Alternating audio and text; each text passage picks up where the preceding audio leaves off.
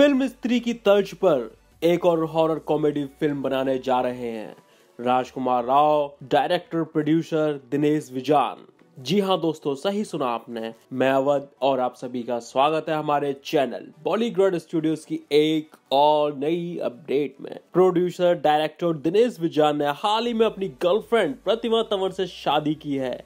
इन दिनों वो हनीमून पर हैं। हनीमून पर जाने से पहले उन्होंने मीडिया से अपनी अगली फ़िल्म के बारे में बात की। दिनेश ने बताया कि वो जल्दी एक और हॉरर कॉमेडी फ़िल्म बनाने वाले हैं। इस फ़िल्म में एक बार फिर से राजकुमार राव लीड रोल में नज़र आएँगे। इससे पहले दिनेश और राज, स्त्री और मेड इन चाइना पर काम कर चुके हैं। दोनों की इस तीसरी फ़िल्म का टाइटल अभी तक तय नहीं किया गया है। सूत्रों की माने तो इस फ़िल्म का नाम स्त्री टू भी हो सकता है। इसका निर्देशन मृगदीप सिंह लांबा करेंगे। फुकरे फ़िल्म वरुण शर्मा भी इसमें नज़र आएँगे।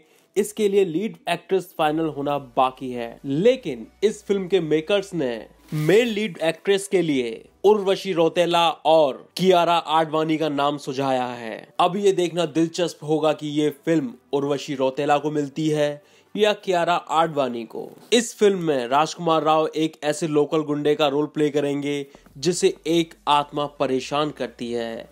फ़िल्म की शूटिंग 2019 में शुरू होगी और इसे 2020 जनवरी तक रिलीज़ किया जाएगा। और वहीं इस बारे में दिनेश ने बात करते हुए कहा मैं खुश हूँ कि मुझे राजकुमार राव जैसे टैलेंटेड एक्टर के साथ दोबारा काम करने का मौका मिल रहा है। और ये भी हो सकता है कि इस फ़िल्म का टाइटल स्त्री का सेकंड पार्ट भी हो। तो दोस्तों, ये तो फ़िल्म के फ्लोर पर आने के बाद ही पता चलेगा कि इस फ़िल्म का नाम स्त्री टू है या कुछ और। लेकिन इसमें महत्वपूर्ण बात यह है कि ये फ़िल्म उर्वशी रोतेला के पाले में जाती है या क्यारा आडवाणी के। आप इन दोनों एक्ट्रेस में से किसको फ़िल्म में देखना चाहेंगे?